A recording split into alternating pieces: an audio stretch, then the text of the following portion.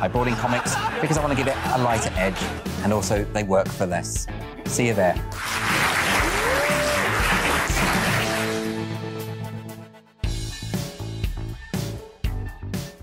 Hi there, it's Stephen and Anne. At breakfast from 6am, you'll always be caught up with everything you need to know the latest headlines, opinions, and debates. We'll bring you the good news and the bad, but most of all, we're here for you. Remember, send in your views and let us know what you would like us to talk about. That's because we're your news channel.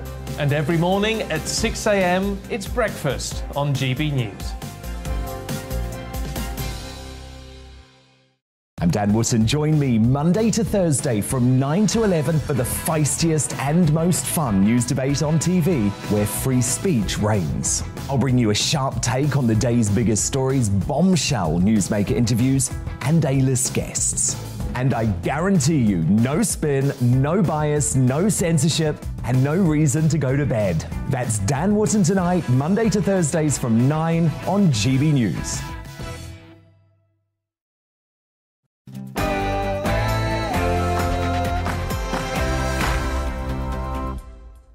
Ladies and gentlemen, the East Midlands of England in the third decade of the third millennium.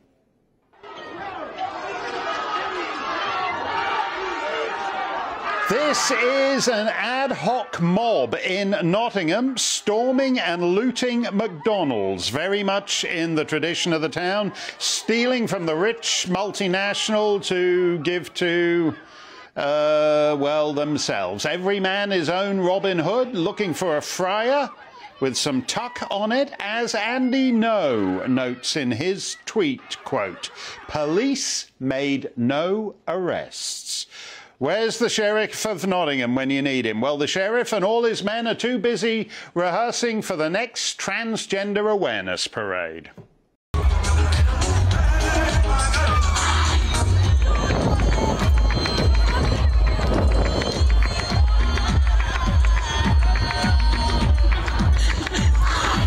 Hey, Copperloser, Her Majesty's Constabulary are the last people on the planet to think the Macarena is cool. Everyone else figured out a quarter century ago that the Macarena is dancing for people who can't dance. So it turns out the British police are as lousy at dancing as they are at solving burglaries or rape. The crime charging rate is down to 1.3%. And 1.3 is about what those guys would get on Strictly 2. We're going to call Len Goodman and Darcey Bussell in for a one hour special analysing the pathetic dancing of UK coppers. Uh, where was I? Oh, yeah, looting McDonald's. Have you noticed how everything is screwed? There's no law enforcement, there's no health service. This winter there'll be no heating. Well, there will be if you've got five and a half grand plus whatever the 18.6% inflation is up to by then. If you think the answer to the wasteland all around is even narrower constraints of public discourse and even more deference to the official expert narrative, well, Her Majesty's government has a so-called online harms bill you're going to love. Lord Sumption is here to weigh in on that, plus a couple of people who've already been cancelled and shadow banned and all the rest of it. Claire Craig and Alex Mitchell are here, and our pal Natalie Winters will be along uh, to talk about the expert di tutti experti, America's Anthony Fauci, uh, the sex beast of octogenarian public health bureaucrats.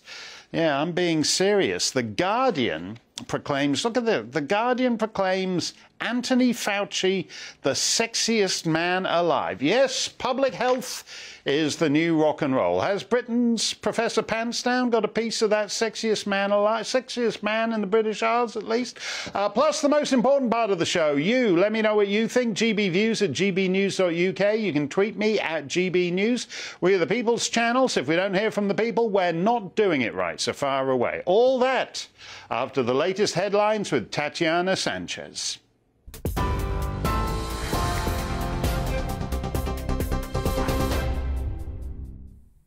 Thank you, Mark. Good evening. It is 8.03. I'm Tatiana Sanchez in the GB newsroom. The Tory leadership hustings are currently taking place in Birmingham as Liz Truss and Rishi Sunak go head to head. We'll bring you more on that in the, in the next hour. Earlier on, Ms Truss said that business as usual is not the right way to deal with the cost of living crisis. It comes as industry leaders are warning households are facing a catastrophic winter amid soaring energy bills.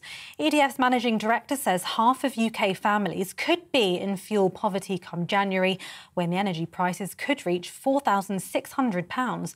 The Foreign Secretary says her first priority as Prime Minister is to ease the pressures people face. I will immediately take action to reduce taxes, to have a temporary moratorium on the green energy levy to save people money on their fuel bills, because I recognise people are facing an immediate struggle. I'm prepared to be bold as Prime Minister, I'm prepared to do things differently, and growing the economy is vital. Meanwhile, earlier on, Rishi Sunak hit out at Ms Truss as he warned his rivals' plans could pour fuel on the fire and worsen inflation. He also says he'll do all he can to support those that need it most. It cut VAT on energy bills to provide some help to everyone, but I want to provide direct financial assistance to two other groups of people, those on the lowest incomes and pensioners, because those people will need extra help this autumn and winter, and I know things are difficult, and I want them to be reassured that with me as Prime Minister, they will get the help that they need. A manhunt is underway after a nine-year-old child was fatally shot in Liverpool last night. Police have named the schoolgirl who was killed as Olivia Pratt Korbel. Officers were called to a house in the Knotty Ash area after an unknown man who was being chased by a gunman forced his way into the property. Police say shots were fired, hitting a woman, Olivia's mother, and fatally wounding the young girl. Detectives are urging criminals to assist with their inquiries and are asking anyone with information to come forwards. A woman who was reported missing nearly eight weeks ago has been found safe and well. The Met Police says 24-year-old student nurse Owami Davies was found in Hampshire after a call to police from someone who'd seen media appeals. She was last seen walking in Croydon in early July and concern had been growing for her safety. Officers have worked around the clock um, following thousands of lines of inquiry in order to locate Owami Davies. But I would like to thank the media and the members of the public who assisted so much in this, in this case. A record number of Channel migrants have crossed the English Channel in a single day. Nearly 1,300 were detected on small boats yesterday. It comes as GB News saw evidence that those trying to cross to the UK in the back of lorries also continues to be an ongoing problem. In the past year, Official figures reveal around 8,000 people were detected at UK ports having illegally crossed the channel. TV, online and DAB Plus radio, this is GB News. Now it's back to Mark Steyn.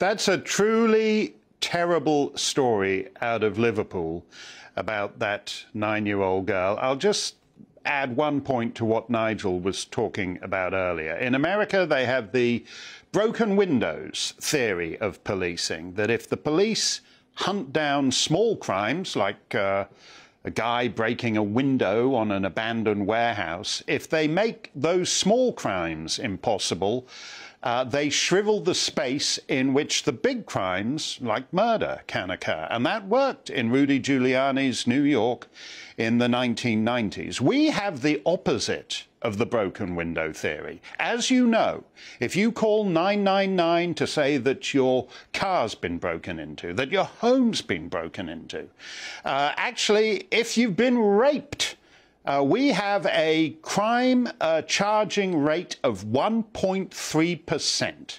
Uh, the other, whatever that is, uh, 88 point, 98.7% uh, aren't even summoned.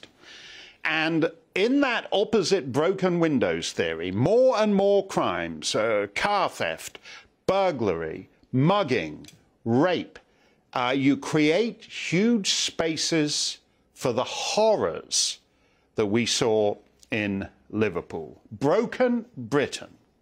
Broken Britain What are we going to do about it? When are we going to have a political class that actually gets serious about any of this stuff? You know, you let a 1,300 people a day walk into your country. Is it really so surprising uh, that uh, you then lose control of your domestic areas and your cities too? We've had two and a half years of rule by experts, not just in the UK, but across the Western world. And I couldn't honestly say it's going great, but your mileage may vary. Nevertheless, if you like the last couple of years, the government's new bill constraining free speech is going to give you more of it. To get the obvious out of the way first, yes, there is a lot of vile stuff out there on the internet. But with the so called online safety bill, the cure is worse than the disease. Just like COVID policy, oddly enough. It's almost uh, like that's the standard operating procedure. The government's proposed bill introduces the novel concept to British life of, quote, legal but harmful. Uh, okay. Harmful to whom? Oh, well, that depends. Harmfulness is mostly in the eyes of the beharmed. For example, you might think that uh, letting over a thousand young men in a single day get ferried in by the Border Force and the Royal National Lifeboat Institute to the express check-in at Folkestone and Dover and be put up at the Holiday Inn with an unlimited uh, tab on room service is not in the best interests of the people of a small and already densely populated island. But it could be perceived as racist, couldn't it? A bit uh, Sudanophobic. And that may be legal, but it's harmful. You might think that letting biologically male athletes identify as women for the purposes of sporting contests isn't fair. And if it's not fair, it's not sport by definition, is it? That's legal to say that, but it could be harmful. It could be harmful to thousands of fragile, delicate young ladies who are hung like stallions. You might think that thousands of working class girls getting gang raped for years on end in towns up and down the country is a national scandal. And it's time to stop burying it in coy, evasive euphemisms like, quote, Asian males, a category that covers almost two thirds of men on the planet Whereas when you look at the fellows who actually get convicted, it all seems a bit more specific, at least in uh, Huddersfield. Oh, no, no, no, no, no, no, no. It may be legal to say that, but it's very harmful. It could be perceived as culturally insensitive to uh, cultures that like uh, child gang rape. You might think that excess mortality, running at just shy of a thousand extra deaths per week for over three months now, is about as basic as it gets, and you'd like the government to look into why it's happening. Because that's a lot of extra corpses. Okay, that is legal legal technically to say, but it could be totally harmful and discourage people from getting in the queue for their 27th booster shot. You might look at today's map of electricity prices in Europe. It's uh, 400 euros per megawatt hour. In Sweden and Poland now, it's 500 euros per megawatt hour in Finland and Latvia and let's see, it's 600 euros per megawatt hour in France, Germany, and Italy, and 636 euros per megawatt hour in the United Kingdom. Until, oh, two years ago, anything more than 100 euros per megawatt hour was almost unimaginable. But you whining about your electric bill could be interpreted as giving succor to climate denialists, which is legal but very, very, very harmful, not just to the planet in general, uh, but to as yet unborn residents of the Maldives in the 22nd century. On the other hand, do you think the stabbing of British novelists is a grand thing and you'd like to see more of it? Are you the vice president of the Society of Engineers and Technologists in Pakistan and you want to offer 20 million bucks for someone to behead a Dutch politician you don't like. Yeah, what's it say? Uh, after the attack on Salman Rushdie, inshallah. The next number is Geert Wilders. Anyone in the world, he's the Dutch populist politician. Anyone in the one in the world gives me the head of Geert Wilders, I will give him $20 million. I want Geert Wilders' head. We want head. All Muslims want head. That's Rehan M. Sabir. panting for the head of Geert Wilders. In a narrow legalistic sense, it's not legal to offer money to incentivize the decapitation of named individuals, but evidently it's not terribly harmful. It's no biggie. The guy still got his uh, Facebook uh, page up. Look, there he is, Raheen M. Sabir. Uh, that was uh, just a couple of hours ago. Uh, so whatever it is, a week and a half after he offered 20 million bucks for the head of Geert Wilders. So he's not as harmful as Charlotte Wright, who was on the show last night, talking about losing her husband at 32 to AstraZeneca. And every time Charlotte mentions it on Twitter, it's instantly labeled as misleading, fake news, disinformation. If only Charlotte would stick to beheading threats against named individuals. So, what does all this leave to talk about, aside from decapitating British novelists and Dutch politicians? Well, celebs, royals, footy, probably mostly women's footy, but less and less open discourse on anything that matters at a time when we have never needed it more. If you like the big shut up, this bill will make it even bigger. Lord Sumption is a distinguished historian and a former judge on the Supreme Court of the United Kingdom, and he aired his own thoughts on this subject in The Spectator. Just let me start with your first sentence because you drew attention to the fact that this bill is 218 pages. And I happened to look up the 1935 Government of India Act, which I think for two thirds of a century was the longest bill ever passed by the British Parliament, and that's only 196 pages to govern an entire subcontinent. So, what is it about this that requires? Why, why is it 218 pages? What, what, what does that tell you about it? The main thing it tells you about it is that this is a statute that is trying to regulate the unregulatable and the undefinable. Um, standards of parliamentary drafting have gone down over the last uh, hundred years in a big way. And this is a very complicated bill because it's trying to do the impossible and it just uses more words to do that. But let me make it clear for a start that the bill is actually a well intentioned bill. Uh, it's, and it aims at some targets which need to be hit at. Uh, the main targets of this bill are illegal content on the internet uh, and pornography. So illegal, illegal material has got to be taken down. Pornography has got to be subject to uh, age verification. I don't have any problem about that, and I don't think anyone else should have any problem. The really big problem is the one that you've identified, which is the so called legal and harmful bit. This is an attempt to control and to require internet service companies to control material that it's perfectly legal to talk about, perfectly legal to give speeches about, but which you, if this bill is passed, can't talk about on the internet without a number of government controls being imposed. I think there are two big things wrong with that. First of all, we should not be imposing criminal liabilities on internet companies for things that we can't define, uh, even uh, in a, a, statute which is several hundred pages long. Mm. Uh, the second problem about it is that it confers the kind of powers on government ministers which they should not have. It basically requires Ofcom, the telecommunications regulator, to supervise this very complicated process. Um, and the vagueness of the statute is going to be given precision by so called guidance coming from Ofcom. And the guidance depends in, in, part on what government ministers want. They have to submit it to government ministers who can change it. We know some of the things that government ministers will want to introduce.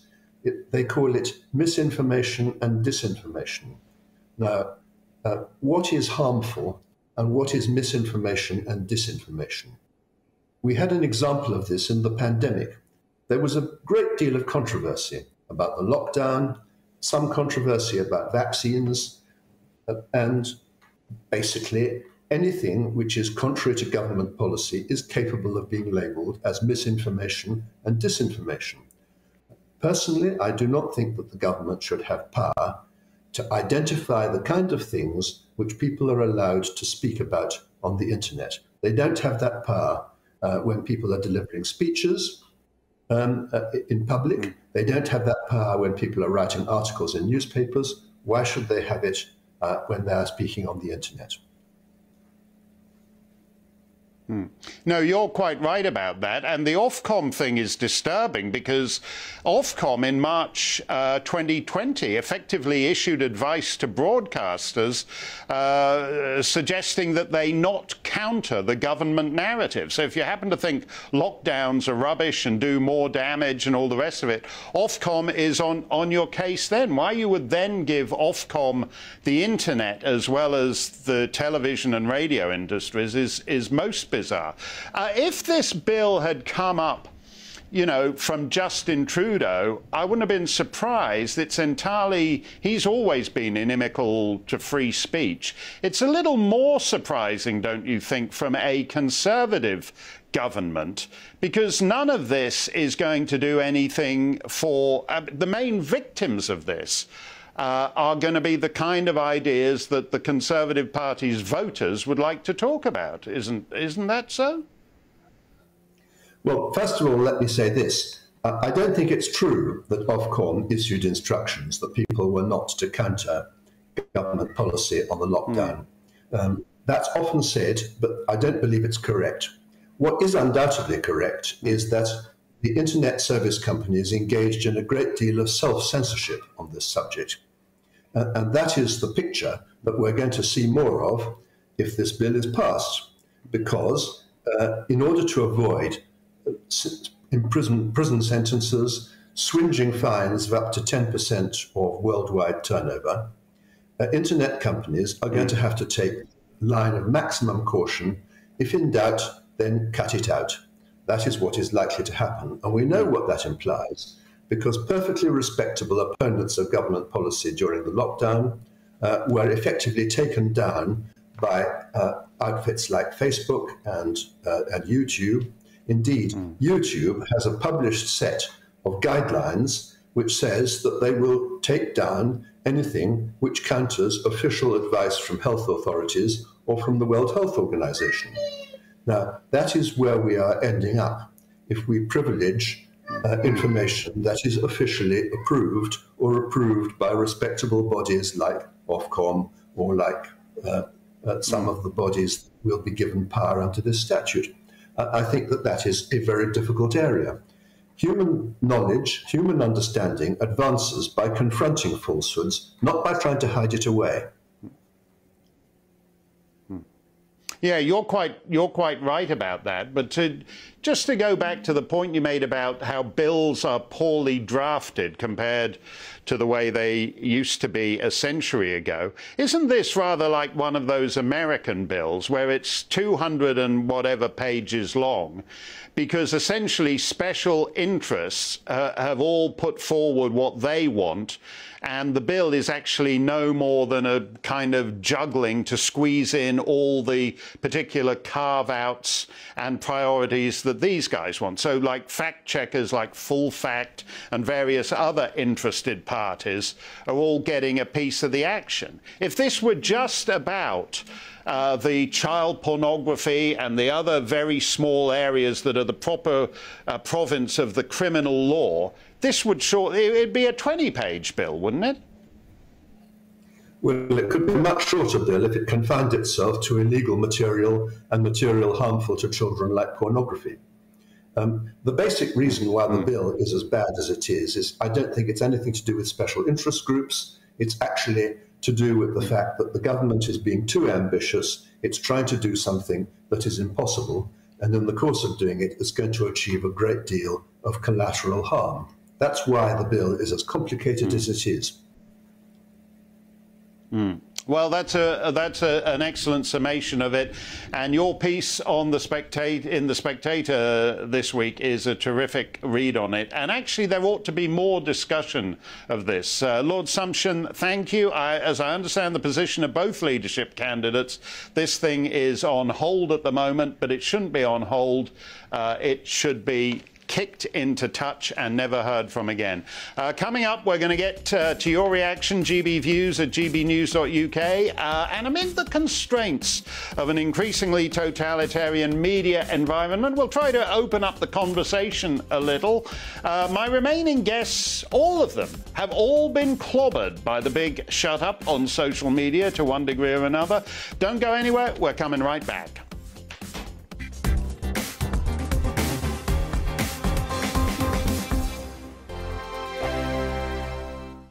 Join my show Farage, 7 pm till 8 pm, Monday through Thursday. And there you will get opinion, analysis, debate, and I'll cover stories that nobody else dares to touch. You've been cancelled. Join the club. Oh my goodness me. And then for the last 15 minutes, talking pints. We're over a drink. We have a civilized conversation with someone. We very often disagree, but we do it in a grown up way. Come and join me on Farage.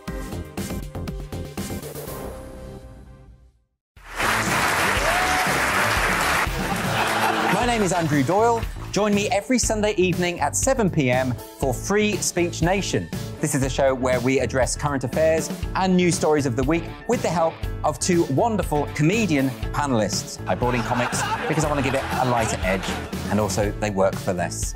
See you there.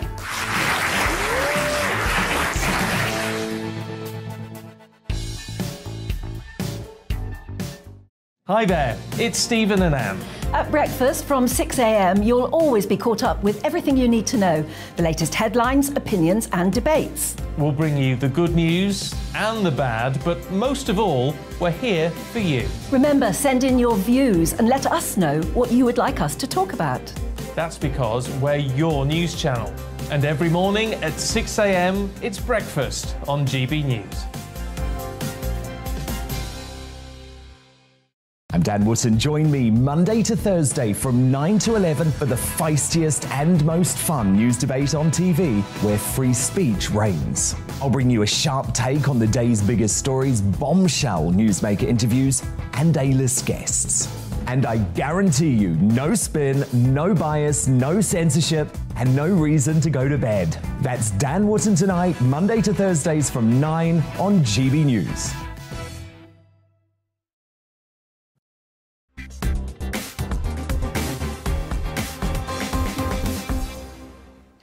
GB News is the People's Channel, so let's hear what the people are saying. This uh, legal but harmful, legal but harmful, just the kind of concept we need uh, in our jurisprudence. Stuart Young Esquire says, I know what legal means, but harmful is a perspective.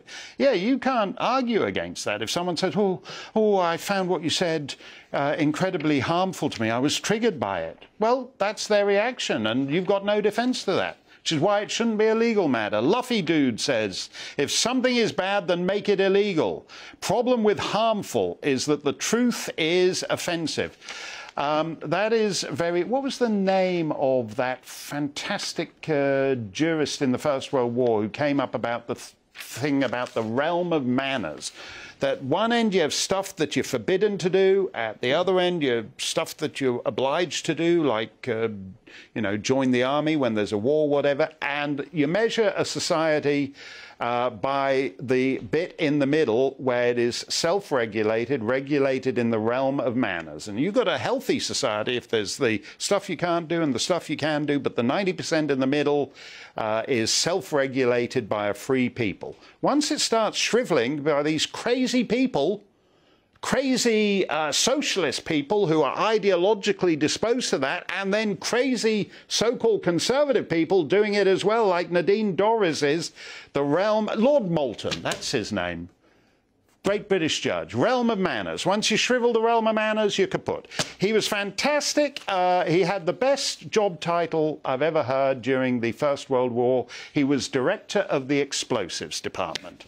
And that's the sort of thing governments should be doing rather than regulating free speech on the internet.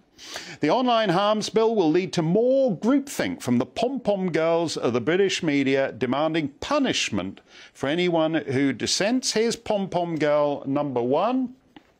Let's have a look at this from the uh, Daily Mail. Oh, yeah, who's this guy? It's time to punish Britain's 5 million vaccine refuseniks, says Andrew Neil. Why shouldn't we curb some of their freedoms?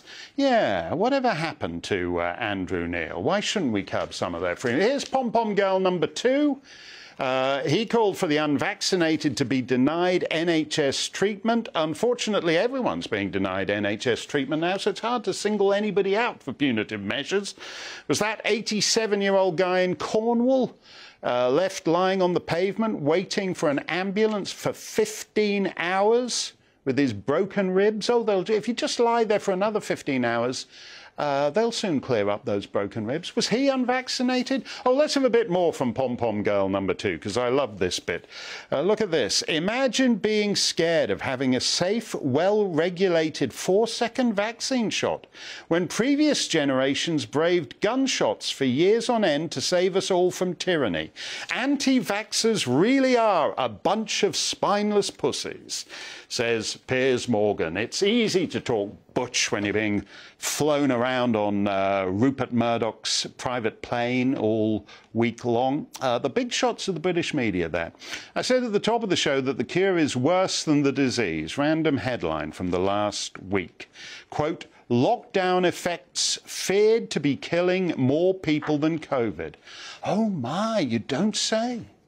Well, actually, quite a few people did say. But as Lord Sumption was talking about just a minute ago, they wound up getting vaporized by the commissars of the internet. As Piers Morgan would say, there's nothing wrong with lockdown that even more lockdown wouldn't cure. Just give it to us longer and harder, because there's still a couple of corners of the economy we haven't totally wrecked.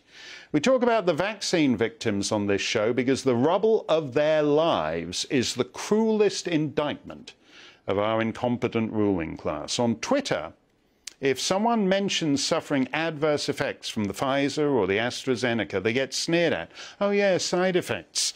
You had a sore arm for 20 minutes, did you? No, Alex Mitchell lost his leg. Here he is learning to walk with his new one.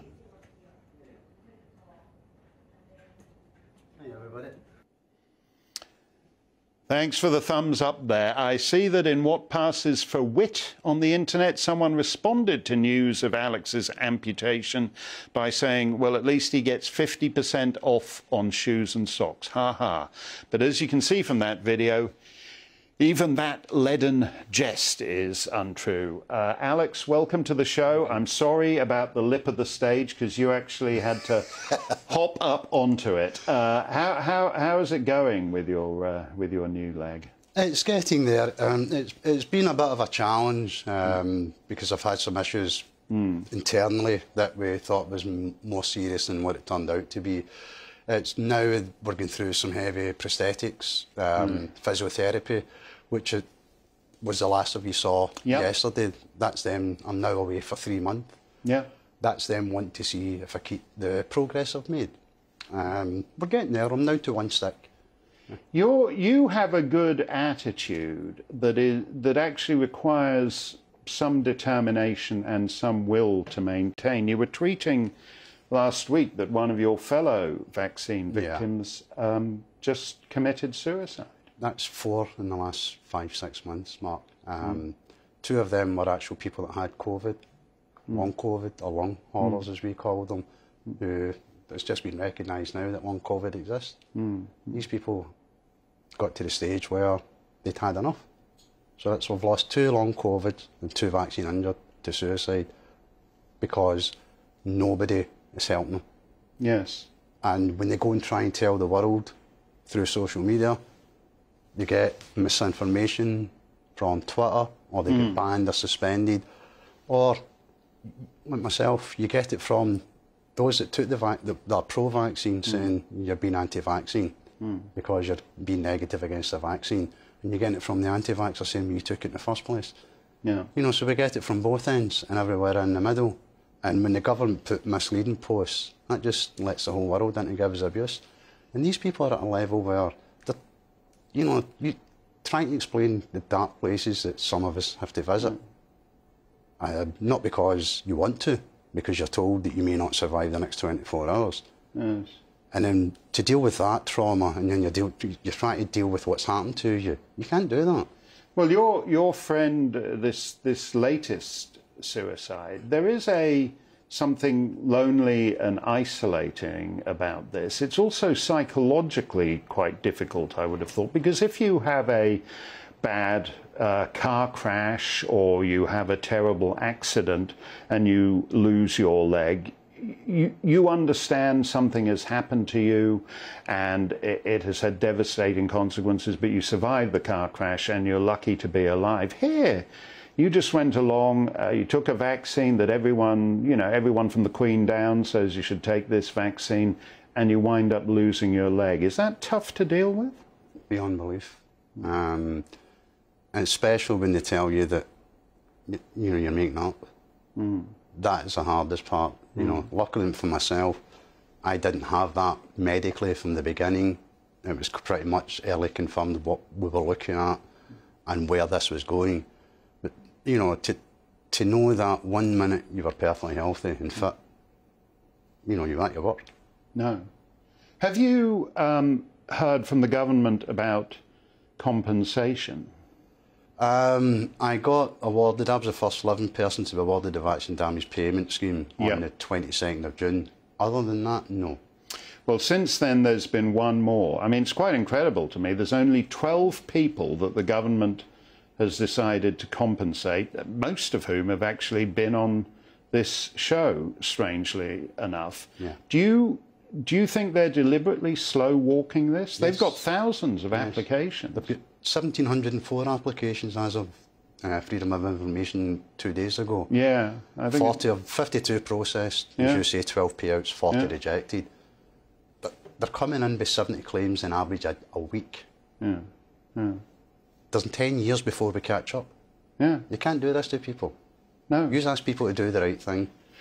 That's actually a very important point. If the, unless they I- improve the rate of this, it's going to be 10 years before they clear the backlog now, and there's and there's likely to be more of uh, this. Clare Craig is also with us, and Clare. Uh, as you know, she's been on this show before. I, I would normally plug her Twitter feed, but she's been 86 from Twitter. She's gone.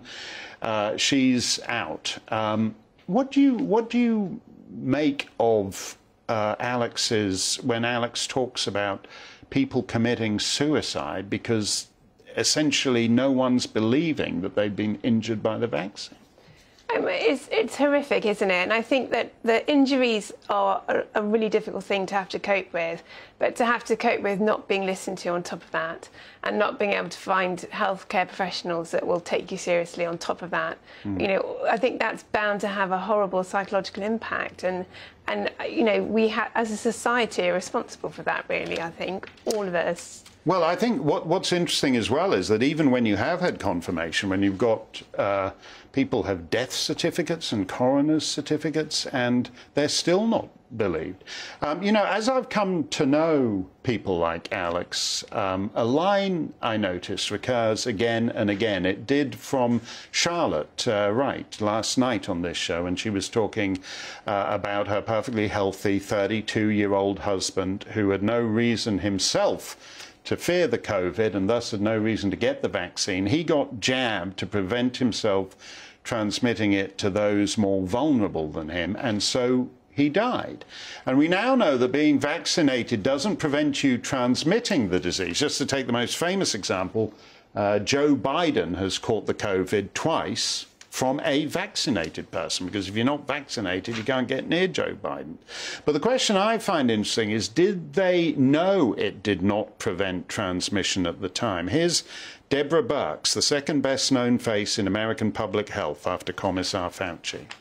I knew these vaccines were not going to protect against infection, and I think we overplayed the vaccines. We overplayed the vaccines.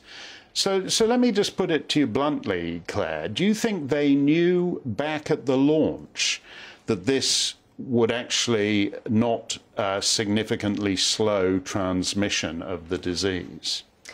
I think they could have known. So, what they were presented with by the pharmaceutical companies was a picture of a very, very effective vaccine that, had it worked in the way that it was presented, would have had a big impact on infection. And I certainly thought it was going to. Mm. Um, but when you actually find out that one of, for instance, one of Pfizer's outcomes that they set out to measure mm. in their trial was the antibody levels in these people. And when you look at the antibody results that have been released because of a Texas court ensuring that they were through an FOI, yeah. Those documents show that the levels of antibodies in the treatment group versus a placebo group, hmm. it was only about a, a 50% reduction at right. most. And so it just shows that the regulators were not going through that, that, asking those obvious questions and checking what the pharmaceutical companies were presenting. Um, so, you know, I think you have to have a, an element of cynicism when you're dealing with pharmaceutical companies. You shouldn't take their word on everything. Um, mm. and, and that seemed to have been lacking. Yeah, why does that happen everywhere, except I think India, which wanted to look at Pfizer uh, a little more closely than the United States and the European Union. Uh, and so Pfizer wound up actually yanking the product uh, from India. Why did nobody, why, why did none of the regulators, uh, British, European, American, why did none of them apparently do their job? I think there's an element of them always. Um, chasing each other and copying each other and wanting to be first. Mm. There's sort of an element of power in being the regulator that calls things first because then the others are bound to follow you because otherwise mm. they would rock the boat, with, you know, if, you, if one regulator has approved it.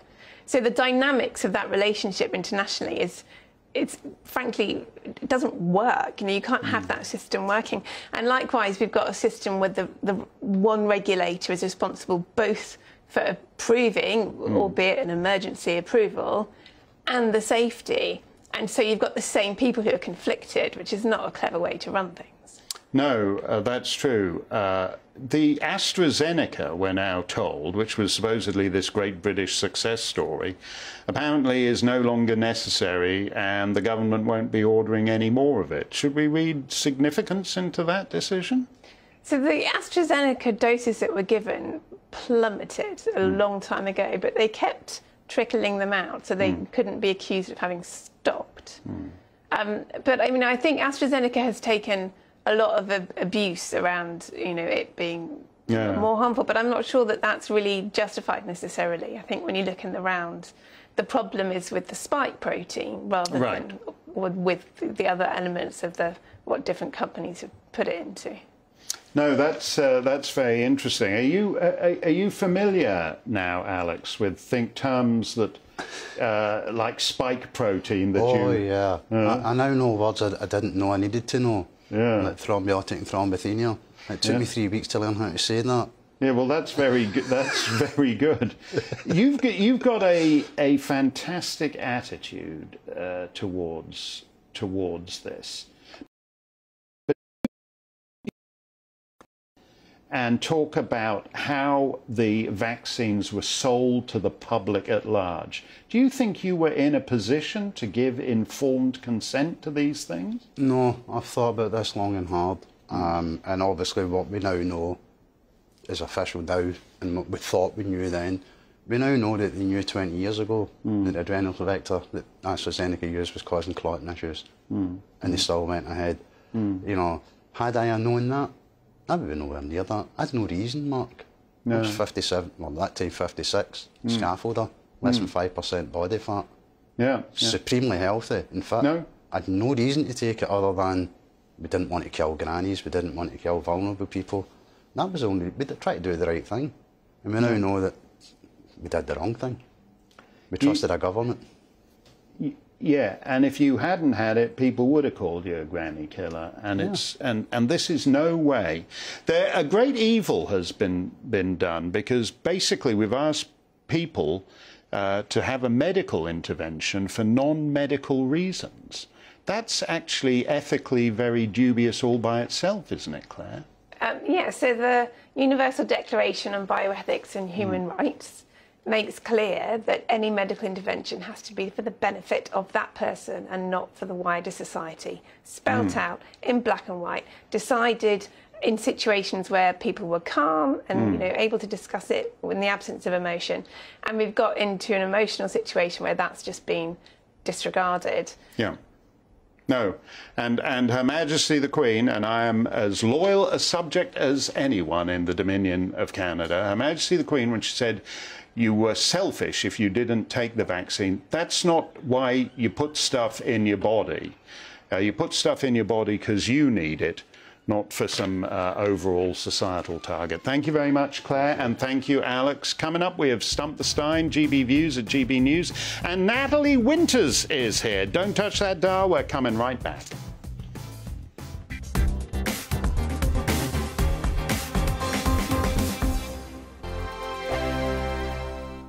Join my show Farage, 7 pm till 8 pm, Monday through Thursday. And there you will get opinion, analysis, debate, and I'll cover stories that nobody else dares to touch. You've been cancelled. Join the club. Oh my goodness me. And then for the last 15 minutes, talking pints. We're over a drink. We have a civilized conversation with someone. We very often disagree, but we do it in a grown up way. Come and join me on Farage.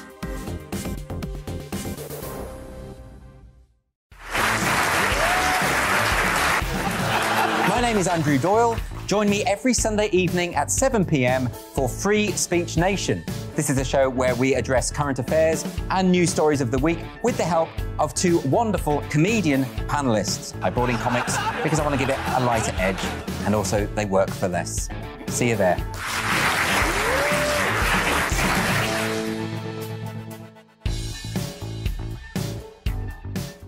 Hi there, it's Stephen and Anne. At breakfast from 6am, you'll always be caught up with everything you need to know the latest headlines, opinions, and debates. We'll bring you the good news and the bad, but most of all, we're here for you. Remember, send in your views and let us know what you would like us to talk about. That's because we're your news channel. And every morning at 6am, it's breakfast on GB News. I'm Dan Wootton. Join me Monday to Thursday from 9 to 11 for the feistiest and most fun news debate on TV where free speech reigns. I'll bring you a sharp take on the day's biggest stories, bombshell newsmaker interviews, and A-list guests. And I guarantee you, no spin, no bias, no censorship, and no reason to go to bed. That's Dan Wootton tonight, Monday to Thursdays from 9 on GB News.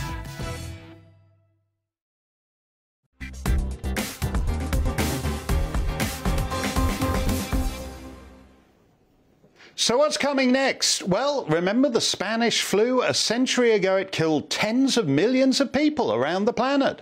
But that's no reason not to pay researchers to bring it back. Here's a headline from Forbes. Scientists have recreated the deadly 1918 flu virus. Why? Good question. From the Forbes story quote A team of scientists in Canada and the US report that they have recreated the 1918 influenza virus and used it to infect macaque. Uh, macaques, that's a type of monkey. Yes, that's right. It started as a lame running joke on this show, and now crazy gain of function scientists are actually doing it. All together now. Jabba, jabba, jabba, jabba, jabba, jabba, jabba, said the monkey to the chimp. Go. Dabba dabba dabba dabba dabba dabba dabba said the chimpy to the monk. Dabba dabba dabba dabba dabba dabba dabba said the monkey to the chimp. Yeah, infecting monkeys with the Spanish flu. That seems sure to work out well. If you were one of those whose initial reaction to the COVID was, well, those Chinese commies are doing all kinds of wacky stuff, some of it was bound to escape. The takeaway from the last two years is that the really wacky stuff at the Wuhan Institute of Virology is being funded by United States taxpayers. And Anthony Fauci has signed off on it. Fauci has been working for the government of the United States since 1968. He's basically the J. Edgar Hoover of public health. He knows where all the bodies are buried, and there are a lot of bodies. He's supposedly the highest salaried bureaucrat in America, and he's going to be the most lavishly pensioned. He's decided he's retiring. He'll be getting 350 grand per annum in retirement versus, say, 120,000 pounds for Charlotte Wright, as we heard last night. With me now is Natalie Winters, investigative journalist at the National Pulse. Natalie, uh, why do you think he's decided to uh, to retire right now? I know it's certainly curious timing coming from someone who is probably the most egotistical and narcissistic public health official that the mm-hmm. United States has ever had. But I think it's because he knows that Republicans are going to take back the House um, come November, and they are going to start their investigations, which will hopefully and ultimately lead to criminal prosecution. So I think he's trying uh, to save himself while he can. Um, this is someone, Anthony Fauci, who is so concerned with his personal legacy. You can see in all the interviews he does, that's what he always talks about. Um, so I think mm. he's trying to get out of office, and uh, the NIAID specifically, that's a branch of the U.S. National Institutes of Health um, because he knows that these investigations, specifically into the origins of COVID 19 and what he was doing with the Wuhan Institute of Virology, um, but also how the National Institutes of Health has really not served in, in, any way, shape, or form to defend the public interest when it came to pharmaceutical companies, the testing of COVID 19 vaccines, and of course, lockdowns and mask mandates. So, Francis Collins, the director of the NIH, resigned last year. So, Anthony Fauci, I think, is just following yeah. in his lead.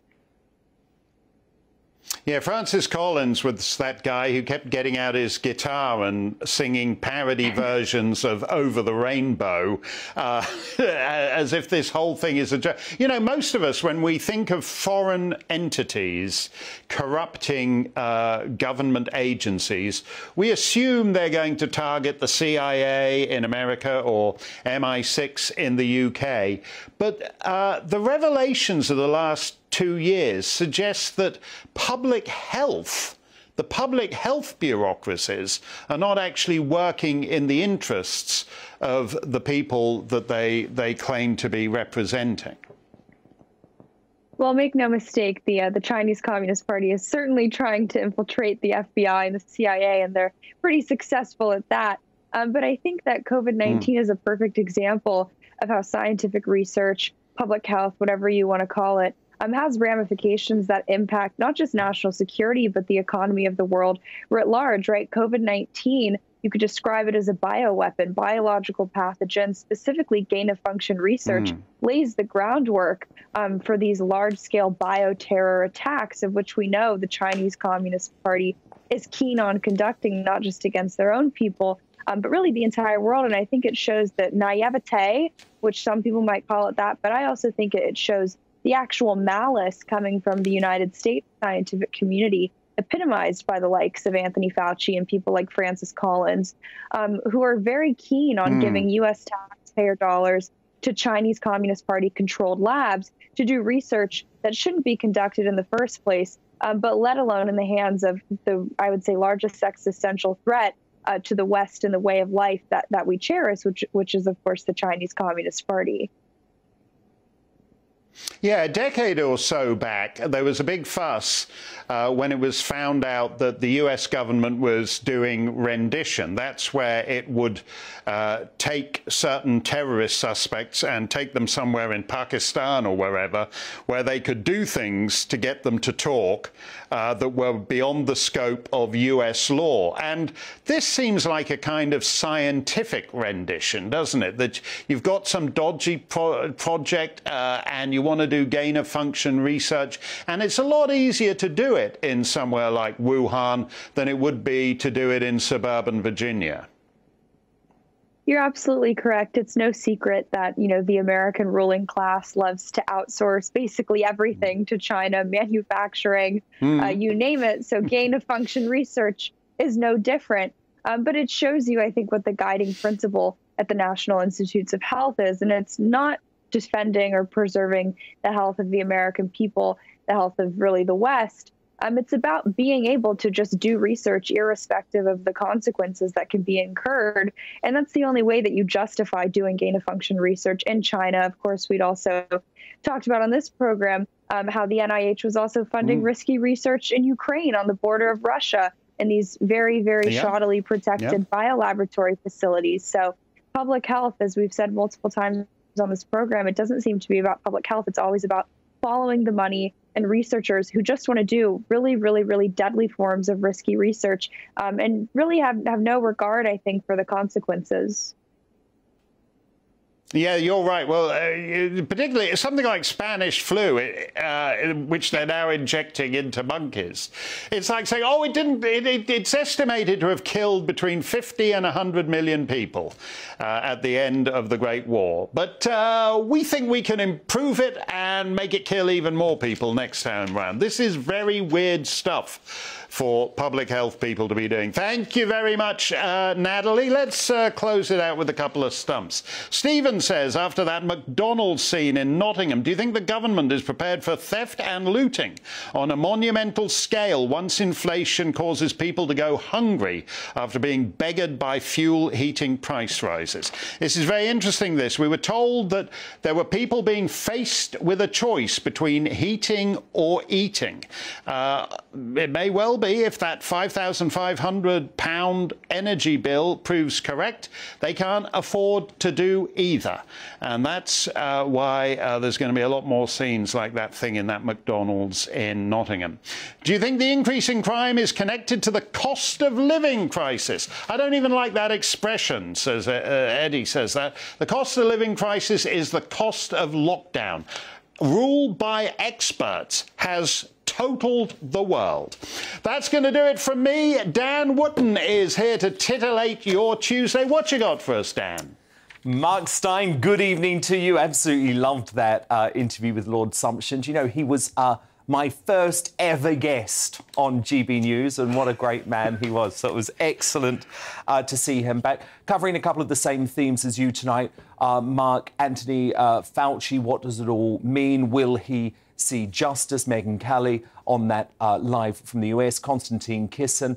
Uh, on the extraordinary bias at the BBC. Do you remember uh, a presenter recently, Mark, during an interview with Konstantin, tried to tell him that he could feel the audience at a comedy show had racist intent. So Konstantin Kisin how we can save the BBC, and Arlene Foster on why she is endorsing Liz Truss. I didn't hear a word of that, Dan, but the thing about no. you is you look so beautiful as you just say it. I could watch you just. It's, I haven't seen a silent movie that good since 1923. That's Hopefully all you can hear me tonight, Mark. Uh, coming up after the weather. Stay safe, stay free. Good evening. Alex Deacon here with your latest weather update. Some big contrast with the weather tomorrow. A soggy Wednesday in some spots, but a, a hot one across East Anglia and the southeast. We're all going to start fairly warm. It's going to be a humid night tonight. Low pressure is kind of in control of things, but these weather fronts and the position of them is crucial. This one coming into the southwest, approaching Wales, will bring some fairly persistent rain, course, particularly southwest Wales tonight and tomorrow. The rain, though, will spread more widely across Wales tonight into parts of northern England eventually and southern Scotland. One or two showers across the east this evening, one or two heavy ones as well, but they're fading away. And for most, it's dry. And for most of us, a really warm and humid night. Look at these temperatures for England and Wales. Uh, towns and cities staying in the high teens quite widely. The details for Wednesday, as I said, some places having a very wet day. Certainly a Pretty wet start for parts of northern England and Scotland, but it should turn drier here. However, southwest Wales keeping the rain going for most of the day. And again, it spreads back to North Wales and northwest England by the afternoon. At times, that rain affecting southwest England, but either side, most places dry. Slightly fresher day for Scotland and Northern Ireland, but pleasant in the sunshine. But look at the temperatures across East Anglia and the southeast, likely to hit 30 Celsius in one or two spots. So pretty hot here. That might spark one or two late thundery showers. The rain is likely to continue over parts of northwest England, Wales, and southwest England during Wednesday evening. And then we could see some thundery rain drifting up from France across the Channel, bringing some heavy downpours to East Anglia and the southeast. Some welcome rain in this part of the world, but it could be pretty intense. Some thunderstorms are possible may cause some disruption. So that's something to keep an eye on. During Thursday, that probably clearing away. A few showers in the northwest, but otherwise most places on Thursday dry and bright with sunny spells. Still pretty warm across the southeast on Thursday, but elsewhere start to lose that humidity with a fresher feel.